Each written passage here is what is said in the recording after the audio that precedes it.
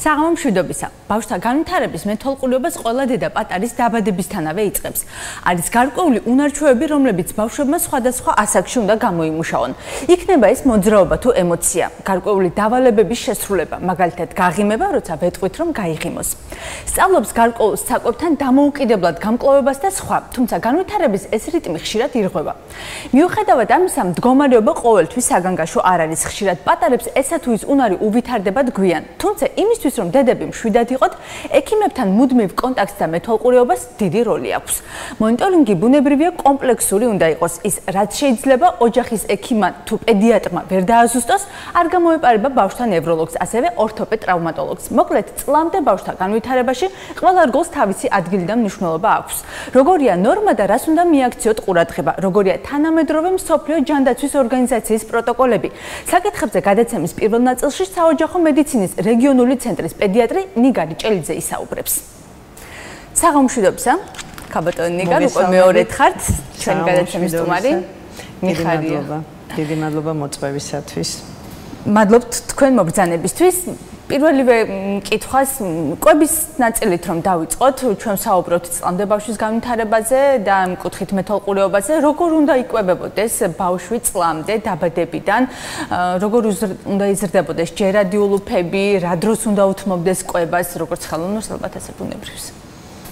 მოგეხსენებათ, ახალი სიცოცხლის დაბადება ეს ყველაზე მნიშვნელოვანი მომენტია ოჯახის შექმნის შემდეგ ცოლ-ქმარი როცა შექმნის ოჯახს შემდეგი მათი ნაბიჯი ეს არის გახდეს დედა, გახდეს мама. ახალი სიცოცხლის დაბადება ფაქტიურად ეს არის ყველაზე მნიშვნელოვანი ჩვენი ქვეყნისათვის და უფრო მეტად მნიშვნელოვანია ის, რომ ეს ახალი სიცოცხლე გაიზარდოს, განვითარდეს, იყოს ინტელექტუალი და ჩვენი ქვეყნის მომავალი იყოს შვიდი და იყოს ლამაზი ჩვენი ქვეყანა. ახალშობილზე ზრუნვა და ნებისმიერ ახალ სიცოცხლეზე ზრუნვა ჯერ კიდევ ჩასახვამდე უნდა დაიწყოს ნებისმიერმა ოჯახმა. ეს ზრუნვა გრძელდება ორსულობის პერიოდში მთელი 9 თვე, იმიტომ რომ ნაყოფს მუცელში ესმის, ნაყოფი მუცელში იცინის, ძინავს, განიცდის. თავისი სამყარო აქვს. დიახ, თავისი სამყარო აქვს, სადაც თავს ბედნიერად გრძნობს. მშობიარობის შემდეგ იცვლება მისი მდგომარეობა, იცვლება მისი ფიზიოლოგია, იწევს დამოუკიდებლად სუნთქვას, იწევს დამოუკიდებლად არსებობას. ხდება დაცილება დედასა და შვილს შორის ჯერ ფიზიკური შემდეგ ფსიქოლოგიური გადაიკვანძება ჭიპლარი და რჩება ერთი ციცქნა უსუსური არსება მარტო. მარტო მიკროორგანიზმებით და ბაქტერიებით შეიძლება ითქვას სავსე სამყაროში. ამიტომ დღესდღეობით ეს პრობლემა გარკვეულწილად გადაჭრილია როგორც კი დაიბადება ახალშობილი თავსდება დედის მკერდზე გასაოცარია ის ფაქტი, რომ ატირებული ახალშობილი როგორც კი მოთავსდება დედის მკერდზე, წნარდება და რამდენიმე წუთში უკვე მიცოცავს. ის საკვების საძებნელად ინსტინქტით პოულობს დედის ძუძუს, მოეჭიდება და საოცარი მადით წოვს. ეს არის პირველი აცრა მის ცხოვრებაში. დაიბადა, მიეწოდა ხსენი. რომელიც ფაქტიურად ბავშვს იცავს ძალიან ბევრი დაავადებებისაგან.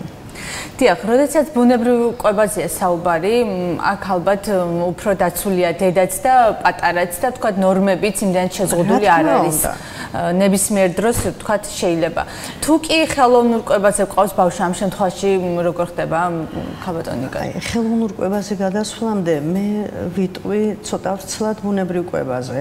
იმიტომ რომ როდესაც დედას მოეჭიდება ბავშვი დაბადებისთანავე პირველი ნახევარი საათი, 1 საათის შემდეგ ყალიბდება კავშირი დედაშვილს შორის და ეს კავშირი არის ძალიან საინტერესო ფაქტიურად მოთხოვნა მიწოდების პრინციპით ვითარდება შემდეგი პროცესი. რამდენს მეც მოეჭიდება ახალშობილი ძუძუს, იმდენად მეტირძე გამომუშავდება ხო, როგორ არის ორგანიზმში? ეს ხშირად ექიმებსა და დედებს შორის დავის თემა, დედები უფრო როგორც კომფორტულად იგრძნობენ თავს აი მდგომარეობაში პატარა, რაღაცა წესები აქვს თავისი, ალბათ ძუძუთი კვებასაც. ხა, ძუძუთი კვების წესი, ძუძუთი კვების წესი ერთადერთია. კვება ძუძუთი მოთხოვნილებისამებრ დღეღამის განმავლობაში მინიმუმ 8ჯერ, საშუალოდ 12ჯერ. თუ ბავშვს მიაწოდებს დედა ძუძუს 12ჯერ, ამ დედას რძე ექნება და ხელოვნურ კვებაზე გადაყვანის საკითხი არ დადგება ფაქტიურად. იმიტომ რომ ყველა დედას აქვს ისეთი რძე და იმ რაოდენობით რაც მიშვილს ჭირდება. თუ ეს დედა მზად არის დედობისთვის ფსიქოლოგიურადაც და ფიზიოლოგიურადაც.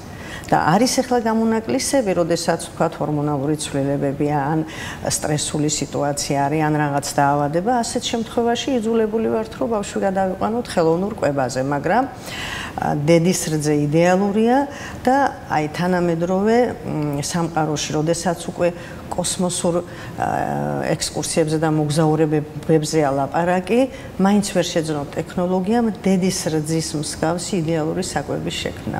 მაგრამ როგორ უნდა ჩაეჭიდოს ძუძუს ბავშვი რა როგორ უნდა დედამ მიაწოდოს ეს მდგომარეობა, ამასაც როგორც ვიცი, აქვს რაღაც გარკვეული რა თქმა უნდა, მთავარია რომ ბავშვი მოეჭიდოს სამშობია რომ ბლოგში დაბადებისთანავე, აი თუ საკეისრო კვეთა 2-3 საათის შემდეგ, როდესაც დედა უკვე გამოდის, საკეისრო კვეთის შემდეგ, ეხლა ძირითადად არის ნარკოზი, არა როგორც ადრე იყო ზოგადი ნარკოზი, არამედ სპინალური სპინალური გაუტკივარებით, როდესაც გამოდის ეს ანესთეზიის მდგომარეობიდან დედა, მაშინვე უნდა იქნეს მასთან ბავშვი მიყვანილი.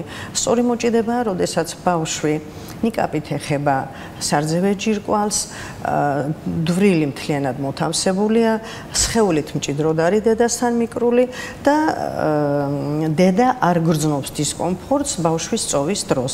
არ უნდა ეგრძნოს ტკივილი, არ უნდა ჰქონდეს უხერხულობის შეგრძნება. კი ბატონო და როგორ უნდა იყოს მისი განვითარება წონაში, ყვებიდან ყვებამდე? ეს უნდა იწონოს ბავშვი თქვა ყოველ კვირაში ერთხელ, ყოველი დღის ბოლოს? აი როდესაც ბავშვი არის ძუძუთი კვებაზე საერთოდ ნებისმიერი ბავშვი დაბადებიდან 6 თვეზე წონას აორმაგებს წლის ასაკში წონა სამაგდება. რაც შეეხება სიგრძეში მატებას დაბადების სიგრძის ნახევარი მატულობს. ერთი წლის ასაკში თუ 50 სანტიმეტრია დაბადებისას ბავშვის სიგრძე წლის ბავშვის სიმაღლე იქნება უკვე 75 სანტიმეტრი. როდესაც ბუნებრივ კვებაზეა ამ დროს წონაში მატება შეიძლება იყოს მინიმალური მატება შეიძლება ჩაითვალოს 500 გრამი, ანუ კვირაში 125-150 გრამი, ხოლო თვეში შეიძლება იყოს 700-800 გრამიდან, ბოლო პერიოდში წამოვიდა უფრო პარატროფიკი ბავშვები, კილოგრამი და კილოგრამზე მეტსაც მატულობენ ხოლმე სიცოცხლის პირველ თვეებში. ანუ ეს ცუდია. არა, ცუდს ვერ დავარქმევთ, მაგრამ არც სასურველი არ არის. რა შეუშლის ხელს 11 კილოგრამ ბავშვს გვიან გაივლის ფექსზე თა თქვათ იქ ძლოვანი სისტემა არ იქნება ისე გამაგრებული რომ ამდენ კილოგრამებს გაუძლოს აი როდესაც წონაში მატულობს ბავშვი ის ორგანიზმის რაც მომატებული მასა უნდა გამოიკვებოს რკინით, დ-ვიტამინით, მიკროელემენტებით, ანტისხეულებით, იმუნოგლობულინებით, ინფექციებთან ბრძოლისათვის. და აი ესეთი ბავშვები უფრო ნაკრებ მოძრავი არიან, შესაბამისად იმუნიტეტიც უფრო სუსტია და ფაქტიურად დიდი წონის ბავშვებიდან გვიყალიბდება ხშირად მოავადე ბავშვები, უფრო ხშირად.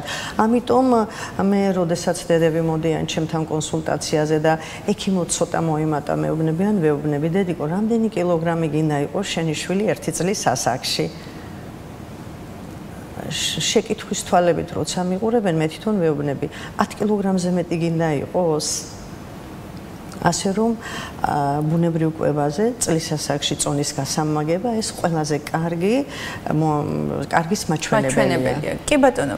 დიარეები საკმაოდ ხშირია პატარებში მუცლის ტკივილი, ეს დიარეები რა არის ალბათ რისკები ითვლება იმის მიხედვითაც ამ დიარეების შემთხვევაში ამდენ ხშირი აქვს დეფეკაცია, იქ შეფერილობა და ასე შემდეგ, ხო? არა, შეეხება დიარეას თამარ ძალიან ხშირად მოგმართავენ დედები, ძუძუთი კვებაზე მყოფი მყოფი ბავშვების დედები, ჩემს ბავშვს კუჭე აქვს აშლილი.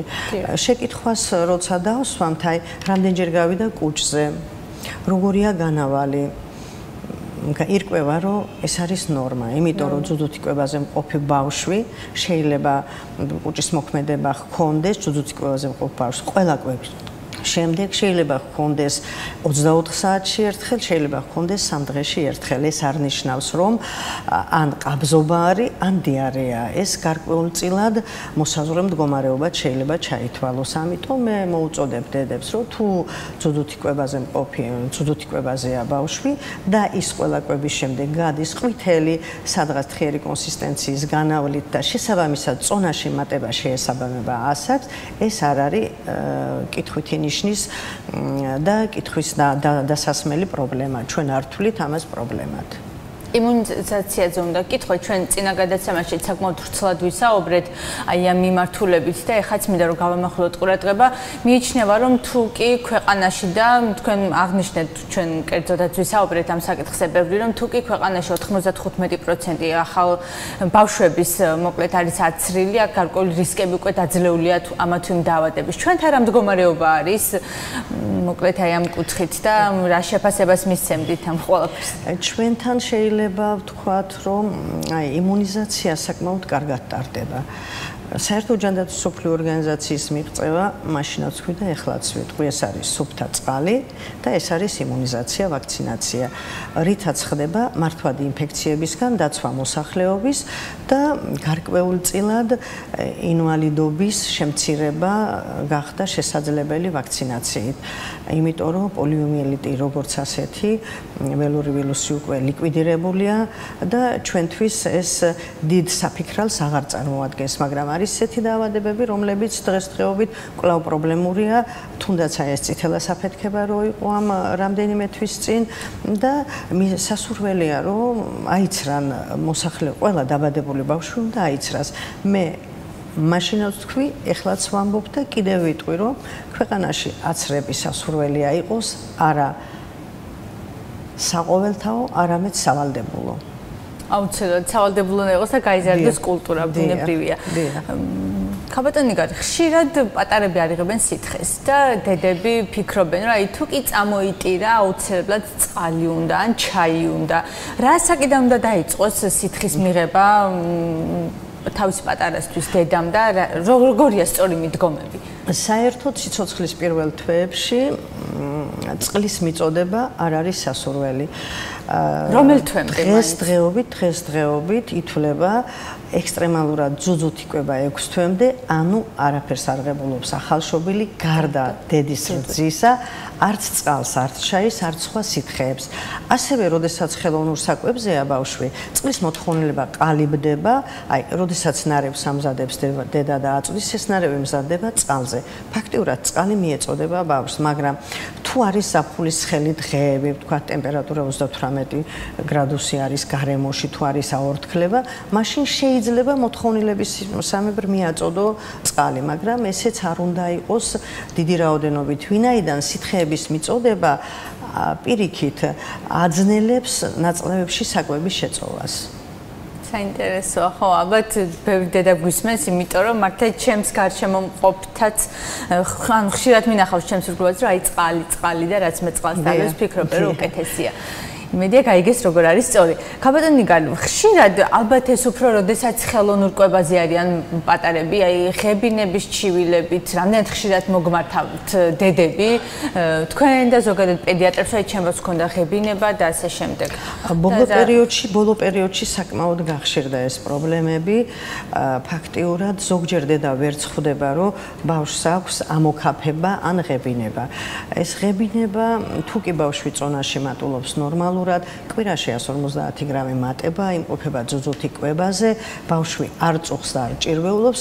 ასეთ ხებინებას ჩვენ პრობლემა და არ თვლით მაგრამ რჩევებს ვაძლევთ დედებს რომ კვების შემდეგ ვერტიკალურ მდგომარეობაში დაიკავონ ბავშვი რამდენიმე წუთი შეიძლება გარკვეული პერიოდი თავი 30 გრადუსით მაღლა ედოს ბავშვს და ისე მოთავსდეს საწოლში. საერთოდ წლამდე ბალეში მიზანშეწონილი არ არის მაგრამ როდესაც ღებინება ასეთ შემთხვევაში ეს რჩევები მიზანშეწონილია აი კონტროლში ჩავარდნის რისკები აი ამ დროს რა იპირის ხშირად აი ამ ღებინების ფონზე? ეგ საკითხი ცოტა სხვანაირად შეიძლება განვიხილოთ თამარ, იმიტომ რომ აი ღებინება ვთქვათ ეს არის კუჭის შიქთავსის ამოსვლა საღლაპავში და პირის ხრუში, რომელიც შეიძლება იყოს ბავშთა გასტროეზოფაგიალური რეფლუქსით გამოწვეული და ბავშთა კრუნჩხვები იცით ადრე ხშირად იყო თამარ ჩემს პრაქტიკაში და ბოლო 2 წლის განმავლობაში ფაქტიურად ბავშთა კრუნჩხვები ერთი თუ შემთხვევა იყო მიუხედავად იმისა რომ დღეში დედების განათლება გაიზარდა ამ კუთხით თუ რამ განაპირობა?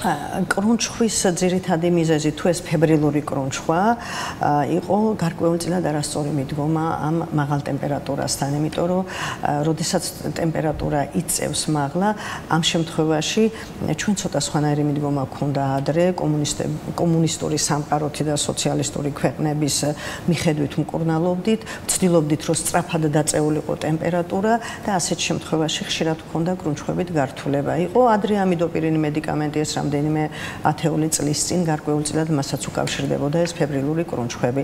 თუნდაც იყოს ეს ფებრილური კრუნჩხვა მაღალ ტემპერატურაზე. ასეთ შემთხვევაში ჩვენ სიტუაციაში ძალიან ხშირად იციან რომ უნდა დაიჭირო ენა ან უნდა დააფარო თვალებზე. არაფერი არ უნდა გაკეთდეს საერთოდ ამ შემთხვევაში პირველი უნდა დადგინდეს მიზეზი ეს კრუნჩხვა დადგინდეს უნდა მიზეზი კრუნჩხვა თუ არის რითი არის გამოწვეული თუ ეს არის ცხელებით გამოწვეული პირველ რიგში უნდა მოხდეს ჰაერის განიავება თუ ზამთარია და გათბობა ეს გათბობის სისტემა უნდა გამოირთოს ფანჯარა უნდა გაიხსნას რომ ცივი ჰაერი შემოვიდეს და როდესაც ეს კრუნჩხვა მოეხსნება არ შეიძლება ხმაური არ შეიძლება ჩვენთან იწება წივილი კივილი და დედები ვარდებიან ისტერიკაში. პირიქით ასეთ დროს დედა უნდა იყოს მშვიდად უნდა შეძლოს თავი აიყვანოს ხელში როგორც კი კრუნჩხვა მოეხსნება ბავშვს უნდა აიყვანოს ბავშვი უნდა დაიკავოს ჰორიზონტალურ მდგომარეობაში. ასეთ დროს პირიქით მშვიდი ხმით საუბარი ბავშვთან და ლაპარაკი უფრო მეტად ეხმარება თუნდაც ეს იყოს წლამდე ბავშვი პატარა და მან არ იცოდეს ლაპარაკი. მიმიკის ენა და მიცხეულის ენა ყველაზე კარგად მეტყველებს ყველაზე კარგი იარაღია ნებისმიერი სიტუაციის განმოხტვისათვის ქაბატონიკარ უფრო ვიდრე ყიფლიბანძე და აი D ვიტამინის ნაკლებობაზე გადავალებს დიდი თემა ცოტა მანამდე უნდა კითხოთ აუცილებლად. ზღვაზე დაყავთ ხშირად ახალშობილები ეს რამდენად მართებული და არასწორია მაგრამ მაყურებელი რეკავს მოდით უპასუხოთ და შემდეგ ა გაითიშა ზარი და დაგვიკავშირდება ალბათ ხელმეორედ. ხო, აი ახალშობილების ზღვაზე გაყვანა თუნდაც არა და დილით ადრე საათებში ან გვიან საღამოთი რამდენად მიზანშეწონილია? ეხლა ზღვაზე გაყვანა და ზღვაში შეყვანა, რომელს მეკითხებით უფრო? ზღვა, აი უფრო ზღვის პირზე, ხო? დიახ, აი ახალშობილი დაიბადა. დღეს ისეთი დაბინძურება გარემოს და ჰაერის, რომ იმ ახალშობილის ჭირდება სუფთა ჰაერი. თუ კი ზღვის პირას გავასასეირნოთ დედა ბავშვთან ერთად, ეს პირიქით მისასალმებელია. ერთ საათ ნახევარი რო ისეირნოს ზღვის პირას დედამ ბავშვთან ერთად შეიძლება იმდენი D ვიტამინი წარმოიქმნას ერთ კვირას ეყოს ბავშვს ეს მარაგი. და მით უმეტეს ზღვის სანაპიროზე იოდიზირებული ჰაერის სუნთქვა ძალიან კარგია ბავშვისთვის მაგრამ ზაფხულში 2-3 კვირის შემდეგ უნდა დავიწყოთ ბავშვის სასეირნოდ გაყვანა. პირველი გასვლა 10-15 წუთია შემდეგ უკვე ერთი თვის ბავშვი 1 საათით შეიძლება გაასეირნო დილით 1 საათით სალამოს ორი თვის ბავშვი 2 საათით სამი თვის ბავშვი 3 საათით და 3 საათი დილით საღამოთი წამდე ბავშვისთვის თუნდ ზღვის პირას იყოს თუნდ ისეთ ადგილას სადაც მანქანები ნაკლებად მოძრაობს და ჰავა არ არის და ჰაერი არ არის დაბინძურებული სასურველია რომ ისე ერნონ კი ბატონო და აი ყიფლიბანძე რო ვისაუბროთ ყველაზე დიდი პრობლემა მე მგონი ახალშობილებში შემდგომ აი ყიფლიბანდის გამაგრების თემა და ასე შემდეგ. ეს არის მხოლოდ D ვიტამინის ნაკლებობა თუ სხვა გამომწვევებიც ახლავს ამასთან? არა თამარ ეს ესეც ძველი სოციალისტური მედიცინის დროინდელია შეიძლება ითქვას და სადღაც მე-20 საუკუნეში დარჩა ეს ასეთი აზრები. ყიფლიბანდი დიდი თუ პატარა და რა პრობლემა აქვს ყიფლიბანდის ზომებს. რა რა შეიძლება მოყვეს? ახლა როდესაც ყიფლიბანდი არის პატარა და გარკვეულწილად სწრაფად იხურება თუ მას ახლავს ქალაში დაწნევის მომატების სინდრომი თუ მას ახლავს გარკვეულწილად სხვა პათოლოგიები შეიძლება იყოს ყურადღების მიქცევის და გარკვეულწილი პრობლემის წინაშე დავდგეთ. მაგრამ მაგრამ ყიფლიბანდი დიდია თუ პატარა მაინც უნდა მიიღოს ყველა ბავშვმა ვიტამინი D-ს მინიმალური დოზები 2 წლამდე. ყიფლიბანდი შეიძლება დაიხუროს 6 თვის ასაკში, შეიძლება დაიხუროს წლის და 4 თვის ასაკში. თავარი ამ დახურვას არ ახლდეს რომელიმე პათოლოგიური სიმპტომატიკა, რომელიმე დაავადების. როგორ აკონტროლებთ ამას პედიატრები? რაიმე დამატებითი დახმარება სჭირდება რჩევები აი ამ შემთხვევაში, როდესაც რბილია, რას თავაზობთ დედებს, მოკლედ რომ აი ეს პრობლემა იქნას დაძლევა? აი დედებს ჩვენ თავაზობთ ნუ მიაქცევს ყურადღება საკონტროლოს პედიატრმა და გარკვეულწილად ნევროლოგმა. ნევროლოგი. კი ბატონო. ქაბატონიკა, აი გაციება და გრიპი. ეს ორი სახელწოდება, რომელიც, ნუ, ყველამ კარგად ვიცით, რომ არის ვირუსული, მაგრამ გაციებას მივიჩნევთ ნაკლებად სერიოზულად, გრიპი უფრო რაღაცა ჩვენთვის ჟღერს ბევრად სერიოზული, აი რაღაცა გართულებად, ხო, პატარებში რამდენად რთულად მიმდინარეობს და თუნდაც სურდო გამონადენი ამდენ დიდ ყურადღებას მოითხოვს პატარებში, წლამდე ბავშვებში. ჩვენ ცხოვრობთ გარემოში, რომელიც ძალიან ბევრ მტრებს გვიგზავნის, ასე ვთქვათ, მიკრობების სახით, ვირუსების სახით, ბაქტერიების სახით და ისინი ჩვენში ცხოვრობენ, ცოცხლობენ, არსებობენ. როცა პაციენტი მოდის და ამბობს, უბრალოდ გაციებული ვარ, არ მაქვს გრიპი, ეს ტერმინი ჩვენთან ხშირად არის მართალი ხართ და ჩვენ სულ ვეუბნებით, რომ უბრალოდ გაციება შეიძლება იყოს აი მოხდა გადაციება. თუ გადაციება მოხდა, ასეთ შემთხვევაში ორგანიზმში გარკვეულწილად ორგანიზმი სტრესულ მდგომარეობაშია და ვირუსების აქტივაცია მიმდინარეობს. ან გარემოდან მოხვედრილი ვირუსი, თქვა დაავადებული ადამიანის დახველებით 1 მეტრ ნახევარზე შეიძლება გადაეცეს ვირუსი, იოლად მოხდება დაზიანებულ სასუნთ გზებში, ან სტრესის შემდეგ გადაციების შედეგად იმუნდაწეულ იმუნიტეტში, იოლად ხდება მისი გამრავლება სასუნთ გზების ლორწოვანზე, თუ ეს ვირუსი ავიდურია, ანუ ავივირის ვირუსია, ასე რომ ვთქვა და სწრაფად მრავლდება, თუ ორგანიზმში შეაღწევს სწრაფად, შეიძლება მოხდეს მაღალი ტემპერატურა. ამიტომ გაცივება და გრიპი გარკვეულწილად ცოტა სხვადასხვა ტერმინოლოგია არის, მაგრამ სინამდვილეში მწვავე რესპირაციული ვირუსული ინფექციების შემთხვევაში. თუმცა მას ხშირად მოსდევს ყველა სუნთქვის გაცნელება პატარებში ან გახშირება. როგორც ვიცი, ამას პედიატრები უსმენთ ხოლმე ხშირად პატარებს წუთში რამდენჯერ ამოსუნთქვას აკეთებს. დიახ. ყველა, ну ეს ცნობილია ეს არის დაცვის რეფლექსი, სასუნთქიზებიდან ხდება გამოძევება, ვთქვათ, ეს იქნება მიკროორგანიზმები, ეს იქნება ჰაერის მინარევები, ანუ ცხოსხეულები, თუ რაც აღიზიანებს სასუნთქიგზების ლორწოვან გარს. ხველის დროს თუ მას ახლავს ცხვირის სუნთქვის გაძნელება, ლორწოვანი გამონადენი ცხვირიდან, თუ მას ახლავს ტემპერატურა, თუ მას ახლავს სხვა სიმპტომები, ესე იგი ეს ვირუსული ინფექცია ამ დროს და გარკვეულწილად ერთმთლიანობაში ჩვენ ვირუსის საწინააღმდეგო მკურნალობას ვნიშნავთ.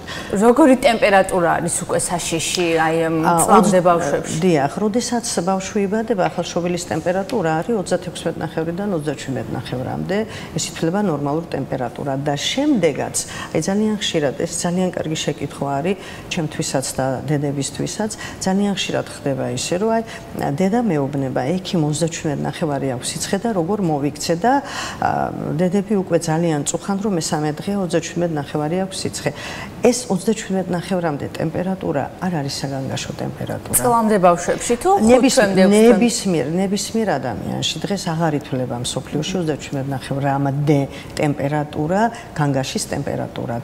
ამიტომ თუ ტემპერატურა არის 38, 38 ნახევარი და სხვა სიმპტომატიკაც ახლავს მას, ამ შემთხვევაში უკვე უნდა მივიღოთ ღონისძიებები. მათ შორის გამოირიცხოს წითელას ვირუსი, რომელიც ასე რა თქმა უნდა, რა თქმა უნდა, თუ ეს დიდხანს გრძელდება ტემპერატურა, რამდენიმე დღეს და თუ იყო სოციუმში ვირუსის შემთხვევა, წითელას ვირუსის შემთხვევები, უნდა ვიფიქროთ წითელას ვირუსი. სხვა თამდევი პროცესები, ანუ იგივე გამონაყარი პირის ღრუ ღრუში, რაღაცა თეთრი ლაქების გაჩენა თუ მოძდევს ეს ყველაფერი და რა შემთხვევაში? ნუ თქვენ თქვენს და ჩვენს წითელას ვირუსი მეტად გვაინტერესებს, იმიტომ რომ ამ შემთხვევაში გაზაფხულზე საკმაოდ გქონდა შემთხვევები.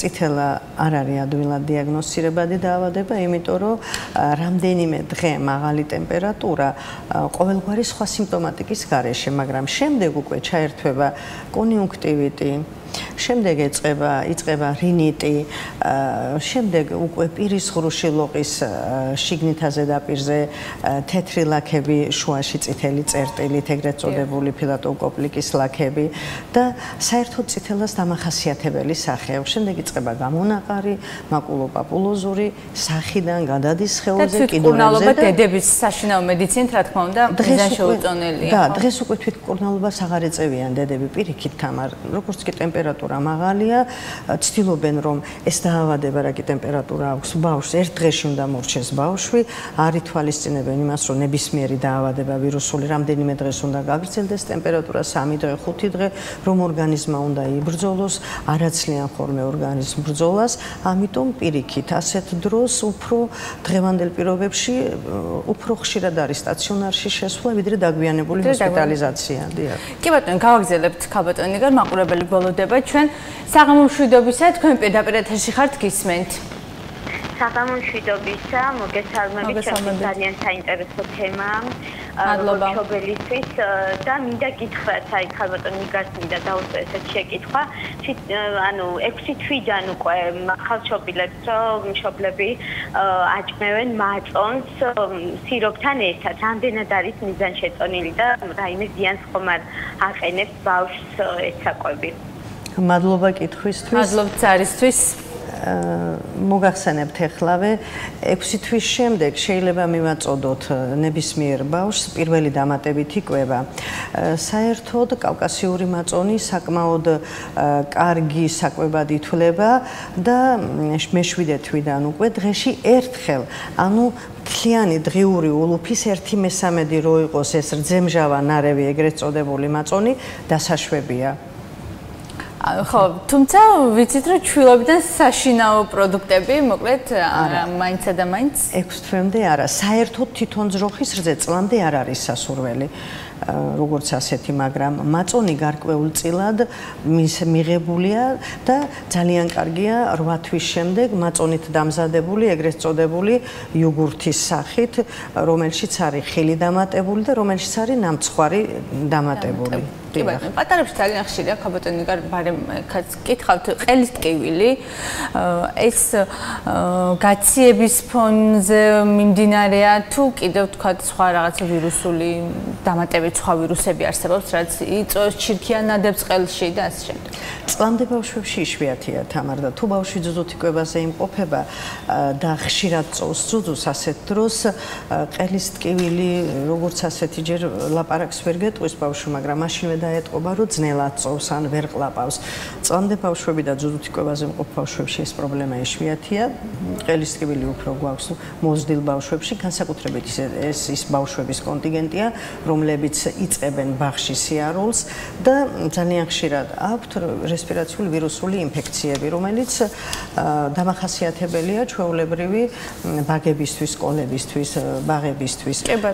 და ეს ყელის ტკივილი ახლა ძალიან ისეთი ძნელი სათქმელია ცალკე რო კონკრეტულად თქვათ, მაგრამ ის აუცილებლად დაკავშირებული არის რომელიმე ინფექციასთან. შეიძლება ეს იყოს ვირუსული ინფექციის დასაწყისი პერიოდი, შეიძლება ეს იყოს ანგინა, სტრეპტოკოკული იქნება თუ სხვა გამოწვევით გამოწვეული ანგინა და ეს ექიმის სამკურნალოა, აი თვითკურნალობა აქ უკვე დაუშვებელია. გასაგებია, ძალიან მნიშვნელოვანია ალბათ ვისაუბროთ რკინა დეფიციტურ ანემიაზე, უფრო ზუსტად სკრინინგზე, რა სკრინინგ პროგრამები არსებობს, როდიდან უნდა დაიწყოს დედამ ამ კუთხით შვილის მონიტორინგი, ვიზიტი ექიმთან და შემდეგ. შემოწმდეს აი ამ კუთხით პატარა საერთოდ ჯანდაცვის სოფლიო ორგანიზაციის განმარტებით ჯანმრთელობა ეს არის ფიზიოლოგიურად ჯანმრთელი ორგანიზმი დაავადებების და პათოლოგიების გარეშე და ეს ნებისმიერი ჯანმრთელი ახალშობილი უნდა იმყოფებოდეს მუდმივი მონიტორინგის ქვეშ. როდესაც იბადება სამშობიარო სახლიდან გამოეწერება ოჯახის ექიმის ან პედიატრის მეთვალყურეობის ქვეშ სიცოცხლის ერთი თვის ასაკში სასურველი არის გაისინჯოს ნევროლოგის მიერ, ხომ არ არის იქ რაიმე ნევროლოგიური პრობლემები, ორი თვის ასაკში პროფილაქტიკური აცრების წინ ბოლო პერიოდში დაინერგა ნეიროსონოგრაფია, ეგრეთ წოდებული თავის ტვინის ეკოსკოპიური გამოკვლევა, ხო არ არის რაიმე განვითარების ანომალია ან რაღაც ისეთი რაც შეიძლება ოჯახის ექიმს გამოეპაროს, ან პედიატრს, ან ნევროლოგს გამოეპაროს და სიცოცხლის მესამე თვიდან უკვე ჩაერთვება ორთოპედი, კინოდეფიციტური ანემიის სკრინინგისთვის თუ კი ახალშობილი არის, თქვათ, რომელიმე რისკის ჯგუფით დაბადებული, ან დღენაკლი, ან ინფიცირება იყო, ან ჰემოლიზური დაავადება ჰქონდა ახალშობილობის პერიოდში, ასეთი ახალშობილების გადამოწმება ხდება გასინჯვის მომენტში, როდესაც ექიმი აღ აღმოაჩენს რაიმე საეჭვოს, იმ შემთხვევაში ხდება სისხლის საერთო ანალიზის გაკეთება, ეგრეთ წოდებული ჰემოგრამა, სკრინინგი ჰემატოლოგიური. სასურველი არის, რომ ჰემატოლოგიური სკრინინგი ჯამთელ ახალშობილზე სიცოცხლის მე-9 მე-10 თვეზე ჩატარდეს. სამწუხაროდ ხაბატონი ცოტა დრო რჩება გადაცემის პირველი ნაწილის დასრულებამდე. ამიტომ ვიდრე დავასრულებ, ყველაზე მნიშვნელოვანია მე ვფიქრობ ვისაუბროთ დაჩენილი დრო კანის მოვლის საკითხებზე. ჩვენ ნუ საკმაოდ ცალთ ვისაუბრეთ გადაცემაში შემოსვლამდე და ის რომ რამდენად მიზანშეწონილია ბალახეული ნახარშით პატარების ბანაობა. დიდი მადლობა თამარ ამ შეკითხვისთვის. მარსობის ხდობა მქონდა, იმიტომ რომ როგორც კი დაიბადება ახალშობილი, ჩვენთან რატომღაც ამ ბოლო პერიოდში ტენდენციად გადაიქცა, რომ აი ნაირნაირი კრემები უნდა იყიდონ, უნდა დაბანონ ნაირნაირ ბალახებში და ჯერ კიდევ მე-20 საუკუნის დროინდელი კალიუმის პერმანგანატით ბანაობა. სასურველი ბალახებით დაბანა არ არის ბავშვის, იმიტომ რომ შეიძლება ბალახებმა გამოიწვიოს კანის გამოშრობა. ისევე როგორც კალიუმის პერმანგანატმა. დღესდღეობით კვირაში ერთხელ შეიძლება დაიბანოს ბავშვი ახალშობილების საპონით სპეციალური, დანარჩენი შეიძლება დაიბანოს წყლით, წყალს გადადუღება არ ჭირდება ჩვეულებრივად და თუ კი ბავშვს აქვს მიდრეკილება სიმშრალისაკენ, თუ კი ნაოჭებში ჩნდება ჰიპერემია, თუ კი ბავშვის კანი მოითხოვს დახმარებას, იმ შემთხვევაში უკვე თვითონ ექიმა უნდა დაუნიშნოს რომელიმე დამატენიანებელი კრემი ან სხვა საშუალებები. მადლობა და ზოგადად რა სიხშირით უნდა ხდებოდეს ჯამთელი პატარის ვიზიტი პედიატრთან, როგორია თანამედროვე პროტოკოლები აი ამ კუთხით და დავასრულოთ. წლის განმავლობაში საშუალოდ 8ჯერ უნდა გასინჯოს ოჯახის ექიმა თუ პედიატრმა და მეტამ უნდა ინახულოს 10ჯერ ბავშვი. 2 წლამდე 4 ვიზიტია სასურველი მინიმუმ ექიმთან და 2 წლიდან 18 წლამდე წელიწადში 1 ვიზიტი. და თუ კი რა თქმა უნდა რისკის ჯგუფია და იქ რაიმე პათოლოგია, ეს უკვე ინდივიდუალური იქნება ამ ბავშვის განვითარების მონიტორინგი. საკმაოდ ვრცელი და ამოუწურავია ეს პედიატრია, მაგრამ ჩვენ იმედია კიდევ შევხვდებით ერთმანეთს. ძალიან დიდი მადლობა რომ იყავით ჩვენ გადაცემის სტუმარი. მადლობა თქვენთან რომ მომიწვიეთ. პირიქით, წლამდე ბავშვთა განვითარების საკითხებზე გადაცემის პირველ ნაწილს საოჯახო მედიცინის რეგიონული ცენტრის პედიატრი ნიგარი ჭელიძე გვესაუბრა, ჩემი ექიმი დროს რეკლამას უთმობს. რამდენიმე წუთში პირდაპირ ეთერში ბავშვთა ნევროლოგთან და ორთოპედ ტრავმატოლოგთან ერთად გავაგზავნებ საუბარს, არ გადართოთ.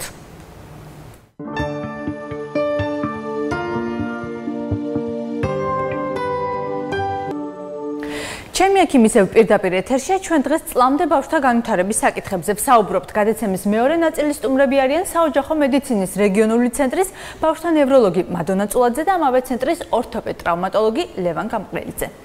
საღამომშვიდობისა. საღამომშვიდობისა. მადლობა რომ ძიმე სამუშაო დღის შემდეგ ხართ ჩვენი გადაცემის სტუმრები. ქაბატონ მადონა, თქვენით დავიწყებ. პირველი რაც მინდა გითხოთ, ზოგადად რამდენ მრავალფეროვანია ეს ნეიროდაავადებათა ჩამონათვალი სპექტრი, რომელიც პატარებში გხდებათ? რასაკვირველია წლამდე ბავშვებში არის ნერვული სისტემის დაზიანების საკმაოდ მრავალფეროვანი სპექტრი და ეს დაზიანებები დამოკიდებული არის როგორც მუცლადყოფნის პერიოდის პათოლოგიებზე, ასევე მშობიარობის დროინდელ გართულებებზე და მშობიარობის შემდგომ გართულებებზე. მუცლადყოფნის პერიოდის გართულებებიდან აღსანიშნავია რასაკვირველია თვითონ დედის დაავადებები. აღსანიშნავია და ძალიან ყურად საღები არის დედის ასაკი, დედის ასაკი 18 წელზე ნაკლები და 40 წელზე მეტი. დედის ინფექციები, საშუალოსნოს პათოლოგიები, ინტოქსიკაციები, ინფექციები, ეს ყველაფერი რასაკვირველია უარყოფითად მოქმედებს ნაყოფის განვითარებაზე და შემდეგ შეიძლება გამოვლინდეს დაბადების შემდეგ ნევროლოგიური დარღვევები.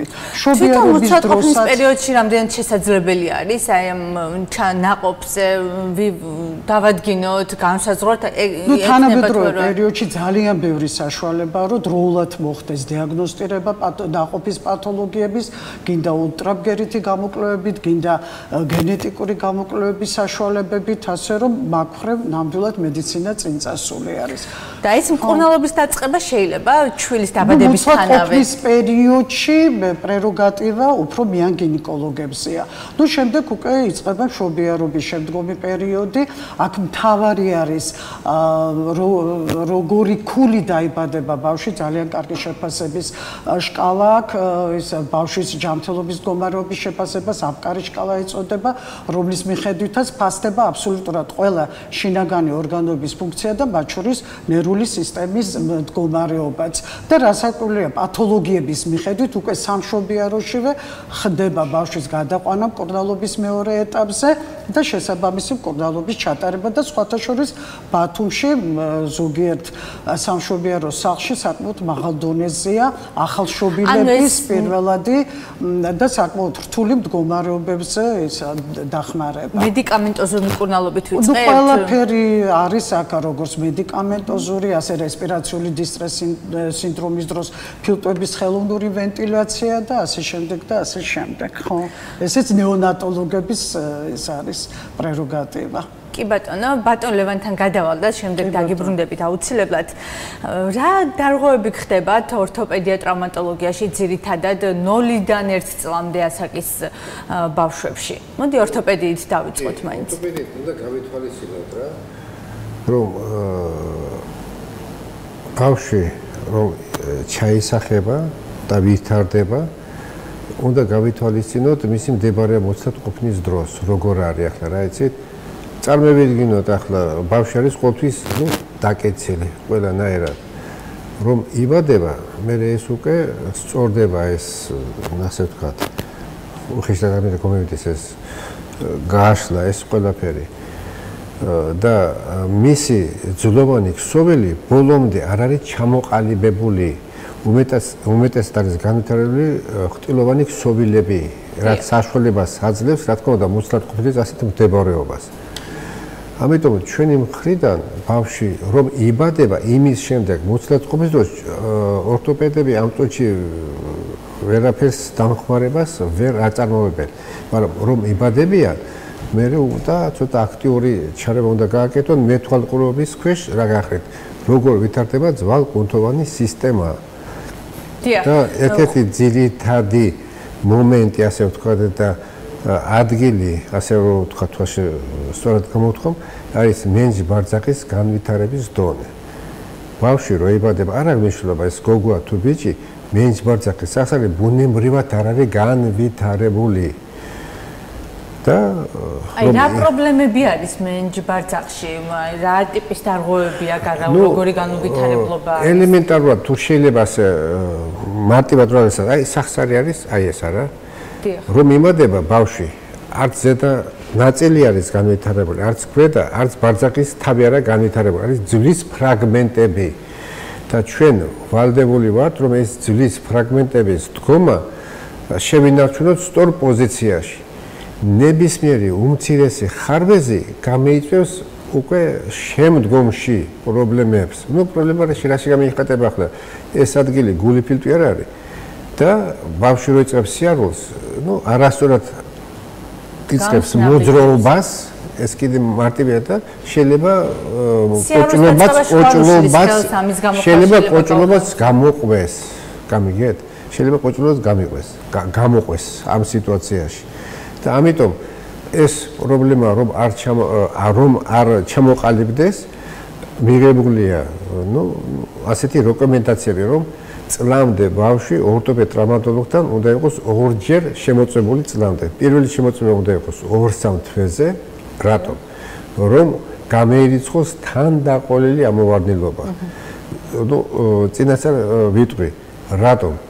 იმიტომ რომ მენჯბარწაკის სახსარის განვითარება მიმდინარეობს უმტკივნეულოდ. ყველა სიმპტომების გარეშე და ეს სიმპტომების გამოჩენა ვლინდება მერე, როცა არის უკვე ნუ დაგვიანებული. დაგვიანებული. ამიტომ რეკომენდირებულია რომ პირველი ნახვა იყოს 2-3 თვეზე, გამერიცხოს მენჯბარწაკის სახლის თანდაყოლი ამოვარდნილობა და შემდეგი და ნებისმიერ რა ქვია ხარვეზი თუ კიდე მოჩვენები თუ რაღაცა იყოს უნდა იყოს გამოკვლეული. უმეტეს შემთხვევაში რეკომენდირებულია პირველად ესე იგი შემოწმება და ეკოსკოპი მეცმარცახის ეკოპი ეკოსკოპის გაკეთება 4 4 თვემდე. თუ მაგან არ დააკმაყოფილა ექიმის ნუ პასუხი თუ რაღაცა მერკეთება რეკომენდება კლევა ну ღმერთით ყველაფერი თუ კარგად არის მეორე მომენტია რომ აუცილებლად მენჯბარწაკის სახსრის მდგომარეობა უნდა იყოს შემოწმებული 5-6 თვეზე. ამ ასაკში ფასდება მენჯბარწაკის სახლის განვითარების დონე. ესე იგი ამოვარდნილობა სუცხო პოზიცია განვითარების თუ სუცხო პოზიცია არის კი ბატონო, გავზევ ბატონო თქვენთან საუბარს, კაპიტან მადონასაც ვკითხოთ. ზოგადად რა საკიდან უნდა დაიწყოს ნევროლოგების მეთვალყურეობა ბავშვებზე? საერთოდ ძალიან დიდი ფუნქცია ეკისრება პირველად ჯანდაცვის რგოლს. სწორედ პედიატრიის ძირითადი მიმართულება ეს არის პრევენციული მედიცინა.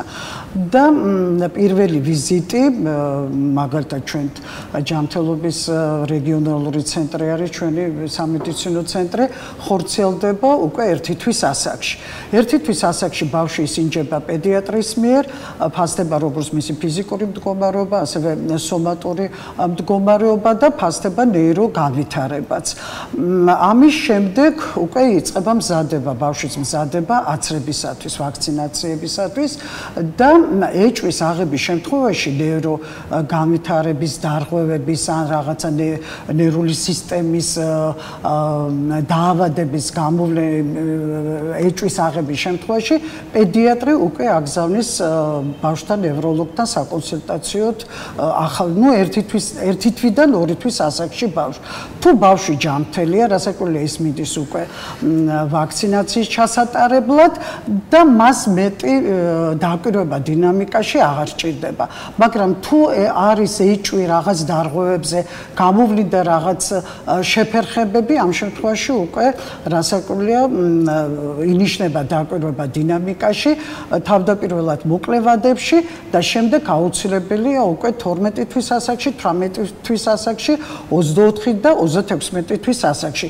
ეს ის პერიოდებია, როცა ისევ ბავშვს უწევს გეგმიური ვიზიტი პედიატრებს. კი ბატონო, ჩვენ ხავატან ნიგართან ვისაუბრეთ აი ყიფლი ბანდის მნიშვნელობაზე, აი იმ დარღვევებზე ამ კუთხით და თქვენც უნდა გკითხოთ ალბათ ძალიან დიდი როლი აქვს ალბათ ნეირო დაავადებებს, აი აი ამ ყიფლი ბანდს და რამდენად აფერხებს აებს ამ კუთხით არსებული დარღვეული თუნდაც დიაგნოსტირებას. ეხლა ნუ რა არის თვითონ ყიფლი ბანდი? ყიფლი ბანდი ეს არის დაავადებისთანავე თავის ზლოვან ნაწილზე ცარიელი სივრცე, რომელიც გადაკრული არის საკმაოდ ისეთი მკრივი აპკით.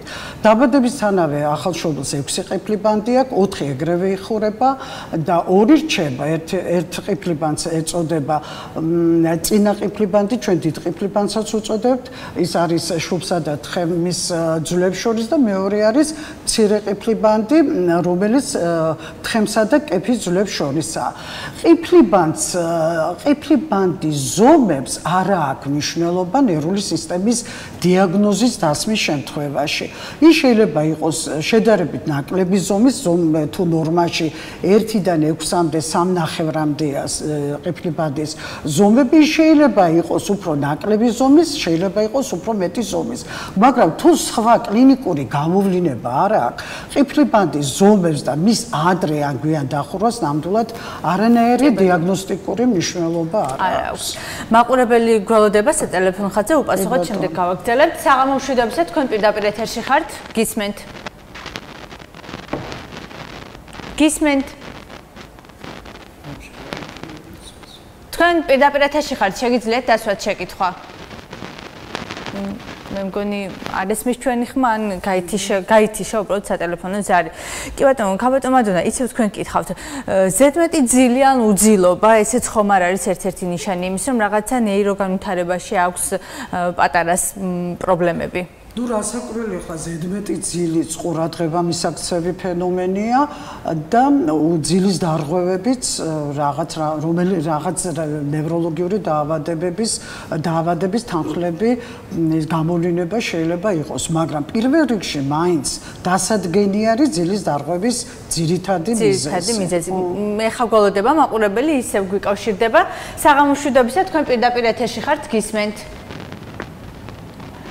პირდაპირ ეთერში ვარ, დიდი მადლობა და მეოთხე ბაუს ველოდები და რა იქნება უფასო ეკუთვნის მოგიარობა ველოდები მეოთხე ბაუს აგე 20 წელი და რა იქნება?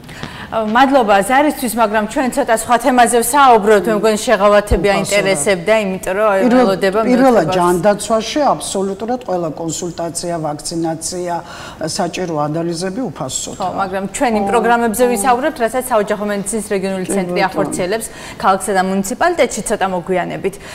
ბატონო, თქვენთან გადმოვალ კითხვით. ძალიან ხშირად კი არა და ალბათ დედების უმრავლესობა ცდილობს, რომ თავის პატარას მოარგოს ეგრეთ წოდებული სუპინატორიან ფეხსაცმელი, იმიტომ თulis რომ ამ შემთხვევაში თუ კი ატარებს ჩვილობიდან ბავშვი, ეს არის უკეთესი მისი ჯანმრთელობისთვის, ასე არ შერჩება თუ არ განუვითარდება ბრტყელტერფიანობა, რამდენად სწორი მიდგომა არის ეს? გაგონოთ მე შევეცდები ინფორმაცია გადმოგცეთ და მე რომ შუბლმა გასაცოს აქიდან თავისი მოქმედებები. გასათვალისწინებ ის გარემოება რომ ნებისმიერი ბავშვი. არ აღნიშნულობა გოგო თუ ბიჭი რომ იბადება ეს ახალშობილი ის უკვე იბადება ტერფიანობით ეს ბუნებიდან მოცემულია. რაც ბუნებიდან მოცემულია ეს არის ხარვეზი. ეს იმითად არის განპირობებული რომ ეს თავი რომელიც მე ყალიბდება რაღაცა ასაკში არა არის შემსებული კან ეს კი კანქვეშა ცხიმოვანი ქსოვილით კანქვეშა ცხიმოვანი რა არის ენერგომატერიალური და საკვებენითება ორგანიზმისთვის. და ბავშვი, რა თქმა უნდა, ამ პატარა ასაკში ვერ დაიჭერს ვერტიკალურ მდგომარეობას, ვერ გაივლის, ეს ეს არ ჭირდება მაგას, რომ ესე იგი რომ სწორად დაიბადოს. აქ რაშია საქმე? მე რო ვთქვი და ვიმეორებ, რომ ეს ბრტყელტერფენობა რაც ბუნებრივია, ეს პათოლოგია და ეს ხარვეზი არ არის. რა საკიდან იწყებს ეგრეთ წოდებული ეს თაღი გაჩამოყალიბებას? ზუსტად აი ამაზე მე გადმევიდი ამ საკითხზე რომ აი ეს თაღის ჩამოყალიბება ხდება 3 წლის შემდეგ. ესე იგი 3 წლამდე ბავშვს როგორც ასეთი ბრტყელტერფენობის დიაგნოზი არ აქვს. და მიზანშეუწონელი ამ დრომდე შესაბამისად აი ერთი წუთი რა იცით? ერთი წუთი რა მინდა რომ პატარა ჩემი ინფორმაცია რომ გამოგცეთ და მე უკვე მშობელმა მიიღო სათანადო ზომები რა. ესე იგი სამ წლამდე როგორც ასეთი წყალტეფენობის დიაგნოზი ბავს არ აქვს. არ არის დიაგნოზი ესე იგი სამკურნალო ღონისძიებებიც არ არის. ну აქ ორნაირი შეხედულობა არის მე ჩემი გამოცდილებიდან გეუბნებით რომ გასაგებია არ არის. თავარია რომ შენარჩუნდეს ტერფის და წვივის სწორი მდებარეობა. მაგრამ შეგიძლიათ უნდა რომ რაღაცნაირად მეეხმაროს გაგონილი აქვს რომ უნდა იყოს თაღი ჩამოყალიბებული და ну არ ვიცი ახლა მე რაფერ გამიბატო კიდულობს. ფაზი არა ლაპარაკი. ორტო აწერია ორტოპედია ორტოპედიული ტუფლი სუპინატორი. კი ბატონო მაგრამ აი მაგაზე მინდა მოდათქმა რომ გამახვილ შობელმა სუპინატორი საჭიროა მაგრამ უნდა იყოს გამოყენებული თავის ასაკობრივ არა სამ წელზე ადრე. კი ბატონო, არა და ერთი წუთი და ყველა სუპინატორ კი, სუპინატორს აქვს თავისი ზომები. აი მაგას მინდა ყურადღება მივაქციო. კი ბატონო, კითხავთ აუცილებლად ამასთან დაკავშირებით მაყურებელს უპასუხოთ. საღამოშვიდობისაც თქვენ პირდაპირ ეთერში ხართ გისმენთ. მოგესალმებით, ქალბატონო. აინტერესებს საოჯახო მედიცინის რეგიონულ ცენტრში. კეთდება თუ არა ნეიროსკოპია და რა საქმე უკეთდება პატარებს ეს გამოკვლევა? მადლობა ზარისთვის. გასაკვირველია კეთდება თავისთვის ულტრაბგერითი გამოკვლევა, ანუ წლამდე სანაპირებამდე ღია. ამ გამოკვლევას ეწოდება ნეიროსონოგრაფია. კეთდება მხოლოდ იმ შემთხვევაში, თუ ეჭვი არის მიტანილი თავისთვის დაზიანებაზე. ну ნებისმიერ ასაკში ერთი თვის ასაკში თუ არის ეჭვი მიტანილი ერთი თვის ასაკში კეთდება და ну შესაბამისად პათოლოგიების შემთხვევაში მე აუცილებლად უნდა მოხდეს დინამიკაში განმეორებითი გამოკვლევა ძალიან ისეთი ინფორმაციული გამოკვლევა კარგად ჩანს თავის ტვინის ეკოგენობა სიცხლჩაქცევები როგორც თავის ტვინის ქსოვილში ასევე პარკუჭებში ზომები პარკუჭების ასე რომ ნევროპათოლოგებისთვის ვისაც და პედიატრებისთვისაც აუცილებელი გამოკვლევის მეთოდებია, როდესაც ცენტრალური ნერვული სისტემის დიაგნოზია და დაზიანებები არის დასადგენილი. ბატონო, და რა ხან მაყურებელმა იკითხა, მაგრამ მეც კითხავს, კიდევ სხვა რა დამხმარე სადიაგნოსტიკო საშუალებები არის საოჯახო მედიცინის რეგიონულ ცენტრში, თუმცა კაპიტან მადონა ისევ მაყურებელი გვიკავშირდება და გავაგზავნოთ. და ნუ ანალიზები და მაგალითად კალციუმის მესამე ვიტამინის განსაზღვრას ის ძალიან ხშირად ნევროლოგებსაც ჭირდება გლუკოზის განსაზღვრას ის და ინსტრუმენტული მეთოდებიდან ნეიროსონოგრაფიული გამოყენების საშუალება. ყველა აპრობირებული. კი ბატონო, მოდით უპასუხოთ მაყურებელს, შემდეგ გავაგრძელოთ. საღამოშვიდობისა თქვენ პირდაპირ ეთერში ხართ გისმენთ. საღამოშვიდობის ისე მე გახლავთ და კიდევ ერთი კითხვა მაქვს. მაინტერესებს რა პროგრამები არსებობს? საოჯახო მედიცინის რეგიონულ ცენტრში ორთოპედთან რომ კონსულტაცია ჩავიტაროთ. არსებობს თუ რაიმე პროგრამა კი ბავშვებისთვის პატარებისთვის მადლობა მადლობა ჩვენ ისეც ვაპირებთ ბატონებთან საუბარს. დაგვასწრო მაყურებელმა შეკითხვა. აი პროგრამებზე საოჯახო მედიცინის ცენტრი ახორცელებს გარკვეულ პროგრამებს ორთოპედიის მიმართულებით. კერძოდ რა პროგრამებია ვისთვის და რამდენად ხელმისაწვდომია ისინი ну კერძოდ ახლა ზოგადად თქვათ იმიდან გამომდინარე რომ ბავშვის როიბადება განვითარებას უნდა კონტროლი გაუწიოთ ჩვენი მხრიდან ორთოპედური მხრიდან და ის გასათვალისწინებელია რომ მე კიდევ ვიმეორებ მე არის თქვი თუ არა ბავშვი როიბადება მას ბენჯბარცახის სახსარი ბუნებრივად არ არის განვითარებული იმ წუთში ну არ არის მე ვითარდება ამიტომ აა ძალიან კარგი პროგრამა შეიმუშავა. აი ამ წუთში ქალაქის მერია. მერია. ну, მედიცინის ხრიდან. მიაქცია ყურადღება და ესე იგი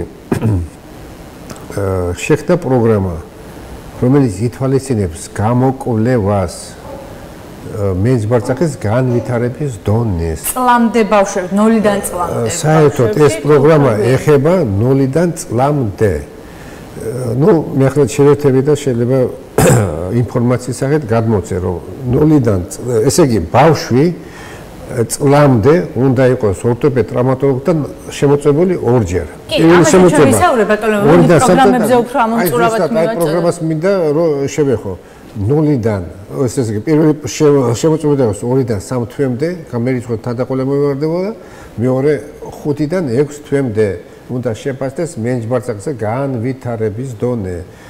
და ну მე როგორც პროგრამა ინფორმაციებს საოჯახო მედიცინის რეგიონულ ცენტრს აქვს განსხვავებული პროგრამები ქალაქში და რეგიონში ხო აი რა განსხვავება მათ შორის რა არის ხელმისაწვდომი მაღალმთიანში მაცხოვრებელი ბავშვებისთვის და მშობლებისთვის და რა ქალაქში? ახლა ქალაქის ახლა რა სიტუაცია? ახლა გასაკვირი არ არის. ახლა ქალაქის ჯან დაცვა ითვალისწინებს ინტერესებს ქალაქის მაცხოვრებელს ასე რომ ვთქვათ რა.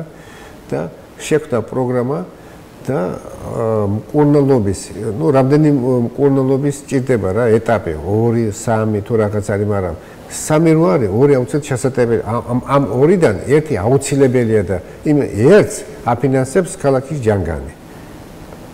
დაფინანსებს, გამიგეთ? ბათუმის მერის ჯანდაცვის სამსახური. კი, ბათუმის სამსახური აფინანსებს, მაგრამ რეგიონებში რომ ვლინდება ეს ანუ საუბარი არის მხოლოდ სადიაგნოსტიკო პროგრამებზე და პრევენციულ ღონისძიებებზე. ხო, როგორც ასეთი სამკურნალო მეთოდების კუთხით თუ არსებობს რაიმე პროგრამა? ამ წუთში, აი ამ წუთში მე მინდა რაღაცნაირად უბრალოდ დრო ცოტა რჩება ბატონებან და მინდა რომ მაქსიმალურად წელს არის პირველი პროგრამა, რომელიც ისოლეს რაიონში გასულა და ორთოპედული შემოწმება. რომელიც ითვალეს გამოვლენას ამ დისპლაზიის და რა და სხვა ხარვეზების მეზბარსკის აღდგენების გამერთის დონეზე. რა ხშირად თვეში ერთხელ არის ეს დავშოთ გასულები მუნიციპალიტეტში კვირაში ერთხელ არა მაგაში არ არის მაგაში თვეში კი არა კვირაში რამდენიმე დღე ახლა მე ვარ ამ პროგრამაში და კვირაში ხუთი სამუშაო დღე ხუთიდან მინიმუმ სამი დღე მაინც რაიონში გავდივართ კი ბატონო ნებისმიერ ეჭვის მიტანაზე ვაკეთებთ გამოკვლევებს. ну, ძირითადად გამოკვლევა არის 5 თვის შემდეგ რეგულარული გამოკვლევა. მადლობა, ზმაყურებელი გოლოდება და უპასუხოთ. საღამოშვიდობისა თქვენ პირდაპირ ეთერში ხართ გისმენთ. საღამოშვიდობის თუ შეიძლება მადონა წულაძესთან მექნება ესეთი შეკითხვა. რა თქმა უნდა, ბრძანეთ. ქალბატონო მადონა. თუ შეიძლება ორი სიტყვით აგვიხსენით აცრების უკუჩვენებასთან დაკავშირებით რა შემთხვევებში აცრები უკუნაჩვენები ბავშვებში? ძალიან დიდი მადლობა. ეხლა რა შეიძლება უკუჩვენებებს აბსოლუტური უკუჩვენებები ნერვული სისტემის დაზიანების მხრივ ну ერთადერთი დაავადება ეს არის თუ ადრეულას ну წლამდე ასაკში დადგინდა ნეონატალური ნეონატალური ეპილეფსიის შემთხვევა ისიც თუ მკურნალობის ფონზე რაღაცა პერიოდის განმავლობაში გუყრები არ განვითარდა, აცრებზე უკუჩვენება არ არის. ასე რომ ნერვული სისტემის დაზიანების მხრივ უკუჩვენებები აცრასთან დაკავშირებით არ არის, მაგრამ გადავადება რაღაცა პერიოდის განმავლობაში და დაკვირვება რასაკვირველია ხდება ამ შემთხვევაში თუ გამოვლინდა ნერვული სისტემის რაღაცა დარღვევა ან დადასტურდა დაავადება. მადლობა, აბსოლუტური უკუჩვენება არ არის. რამდენ ხშირია პატარებში ეპილეფსია, ეპილეფსიური გულყრები, როგორ მკურნალობ თამას და ახლა ეპილეფსია, ეპილეფსია ნერვული სისტემის ქრონიკული დაავადებებიდან ერთ-ერთი გავრცელებული დაავადებაა. ეპილეფსია ვლინდება ნებისმიერ ასაკის ბავშვებში, ნებისმიერ ორივე სქესის ბავშვებში თანაბრად, ნებისმიერი რასისა და სოციალური წარმოშობის ბავშვებში. ნუ ახლა რო გითხრათ, რომ საკმაოდ როგორც გითხარით, ყველაზე გავრცელებული დაავადება და სტატისტიკით 5000 ბავშვზე ერთი ეპილეფსიური დაავადების მქონე ბავშვი ფიქსირდება. ნუ იმის და მიხედვით, როგორც გითხარით, ნებისმიერ ასაკში არის წლამდე ასაკშიც გამოვლენილი ეპილეფსიური ფორმები, ისეთი პიკური ასაკია კიდე 3 და 5 წლამდე და არის ჯუვენილური ეგრეთ წოდებული, რომელიც ვლინდება 10 წლის ასაკის შემდეგ. როგორც დიაგნოზი? ნუ ერთ-ერთი პირველი ნიშანი რასაკვირველია ეს არის გულყრის განვითარება. ნუ გულყრა უფრო ასოცირებული არის კრუნჩხვითი შეტევის განვითარებასთან, მაგრამ არ არის სავალდებულო გულყრა მხოლოდ კრუნჩხვითი შეტევით გამოვლინდეს.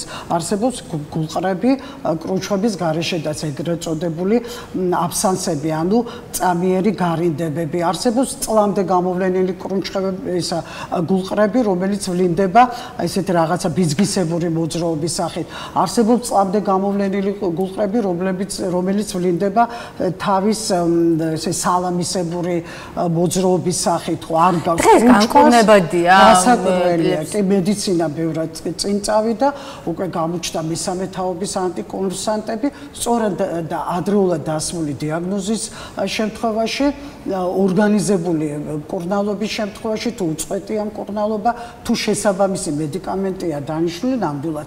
ეპილეფსია შეიძლება ითქვას რომ განკურნება შეიძლება მოყვეს ამ ყველაფერს ინტელექტუალური განვითარების პრობლემა. არსებობს ეპილეფსიის ფორმები განსაკუთრებით იუვენილურ ასაკში განვითარებული ან წლამდე ასაკში განვითარებული ეპილეფსიური გულყრები რომელიც რასაკვირველი რასაკვირველია აისახება ბავშვის ნეიროგანვითარებას მაყურებელს უპასუხოთ კიდევ საღამომშვიდობისა თქვენ პირდაპირ ეთერში ხართ გისმენთ. საღამოშვიდობისა. ქალბატონ მადონასთან ექნება კითხვა. დიახ ძალიან ხშირად გვესმის აუტიზმი, აუტიზმი, აუტიზმი და რა შეიძლება გითხრათ ამასთან დაავადებასთან დაკავშირებით? ძალიან დიდი მადლობა, ეს იყო ჩემი მორიგი კითხვა. საკმაოდ ისეთი დიდი პრობლემა, განსაკუთრებით ბოლო 10 წლის განმავლობაში უკვე ძალიან გაიზარდა ამ დაავადების მაჩვენ დაავადება არ არის, მაინც აუტისტურ სპექტრს განმარტავენ როგორც ბავშვის მდგომარეობას და უკვე დადასტურებულია, რომ ბოლო 10 წლის განმავლობაში 160 ბავშვი ერთი აუტისტური სპექტრის მატარებელი ბავშვია. რა საკინახდება აუტიზმის შემთხვევაში დიაგნოზის დასმა? ხო, აი სხვათა შორის ახლა ჩემი პრაქტიკიდან გამომდინარე, ყველაზე ხშირად არის წლინახევრის ასაკში უკვე ეჭვი ბიტანილი, რომ აქ არის თუ არა აუტისტური სპექტრისთვის დამახასიათებელი საგანგაშო ნიშნები. აი ძალიან ხშირად აი ერთი და იგივე ჩივილებით მოდიან მშობლები წლინახევრის ასაკში. როგორ ეს ჩაკეტილობა არის? პირველი ჩივილი რომ იცით ექიმო ბავშვი თამაშობს მისით, მისთვის და დაძახებაზე არ რეაგირებს. ამ დროს საკვარისია ტელევიზორის ხმას აუწიონ ან იქ ტვირსასრუტის ხმა გაიგონონ და ბავშვი აღიგზება ყურებზე, ხელს იფარებს და ამას გამოხატავს ესეთი აღზნები და აგრესიით. და მეორე ჩივილი რომ იცით რაღაც სიტყვებს წარმოთქვამ და დრო გავიდა და სხვათა შორის აი მეც დაუკვირდი წლინახევრი წლის და 8 თვის ასაკში ხდება ის სიტყვებიც კი დაივიწყა ხო აი პირველი გამოვლენა წამდეც არის რაღაცა საგანგაშო ნიშნები მაგრამ მაინც პირველი ნიშნები წლინახევრის ასაკში ბიჭებში უფრო ჭარბობს სტატისტიკურად აი სტატისტიკურად დადგენილი არ არის მაგრამ ბიჭებში მიზეზი დადგენილი არ არის. და როგორ მკურნალობთ ამას და რამდენი წარმატებულია მედიკამენტოზური ნამდვილად არ არის თუ დადასტურდა აუტისტური სპექტრის მქონე აშლილობის ბავშვი ამ შემთხვევაში ეგრევე პირველ რიგში რაც უნდა გაკეთდეს ეს არის ჩართვა სპეციალურ პროგრამებში სადაც ბავშვები მუშაობენ სპეციალისტების გუნდი ინდივიდუალურად ბავშვთან მუშაობს ფსიქოლოგი, მეტყოლების თერაპევტი, ქცევის თერაპევტი და ხდება ხანძლივი და უწყვეტი მეცადინეობა ამ ბავშვებთან. მადლობა. იწურება სამწუხაროდ ჩვენი გადაცემის დრო ბატონლევანს მინდა ვკითხო კიდევ. ამოვარდნილობები ძალიან ხშირი არის პატარებში. და აი ამ კუთხით იქიდან გამომდინარე რომ ბავშვი როიბადება და ეს მენჯბარძაკის სახსის განვითარება არ არის ბუნებრივად განვითარებული რა იცით ცოტა ძნელია თქვათ რომ ხშირია თუ ნაკლებია. მაგრამ არის შემთხვევები და ამ შემთხვევაში რაი მშობლები თავისით უწყობენ ხოლმე ხშირად ეს იქნება ხელი თუ ფეხი რაღაცა გარკვეული ნაწილი. სწორია თუ ამ დროს შეიძლება რომ არასწორი ჩაცმა მოხდეს და აუცილებლად ტრაუმატოლოგებმა. ყველაზე მარტივი პრევენცია რომ ავიცილოთ ამოვარდნილობა ეს არის ბარძაკების გაშლილი მდგომარეობა. კიდე მამო ნებისმიერი ბავშვი არ აქვს მნიშვნელობა რა ერის არის, რა ის არის, არა? განვითარება ერთნაირია.